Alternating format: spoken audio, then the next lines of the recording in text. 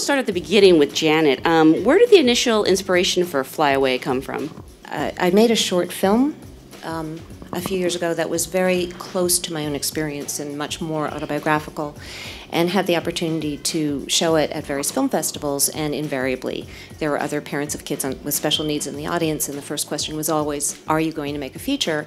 And I started to understand over the course of a year of showing films that they were really saying, "Please make a feature," and I started to feel a responsibility that um, to to speak on behalf of those who couldn't and to share an experience because storytelling is such a primal human need. To, um, you know, when you find the earliest human relics, we see cave paintings. It's a way to say, I am. And, uh, and to be seen and to be understood.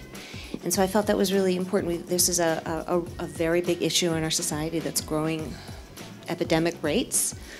There's been a 53% increase in diagnosis of autism in the past decade. There are now 800,000 people diagnosed with autism in America. So this is an experience that's very specific, it's particular, and important to share. And I also felt a responsibility and an opportunity, because I am a parent, to understand from the inside out and be able to, to work with such a brilliant cast.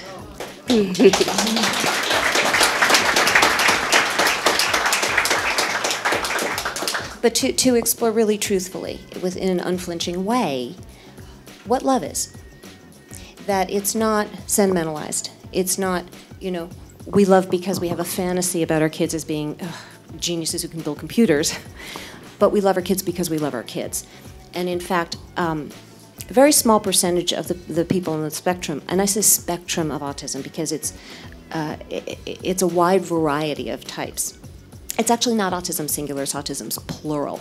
But a very small percentage have extraordinary skills or are diagnosed as what we call Asperger's. Most are more like the character of Mandy, if not more severe. And most of the films and TV shows that I've seen that have depicted autism, brilliant though they may be, are depicting that milder kind of autism. And so that's not representing what the real need is. And if we are asking society to advocate with us and help to meet the needs of our kids when they become adults and we pass on and they're still living out their lives, well, how can we ask you guys to join us if you don't know what the issue is? So I also felt that was important and, um, and personally cathartic.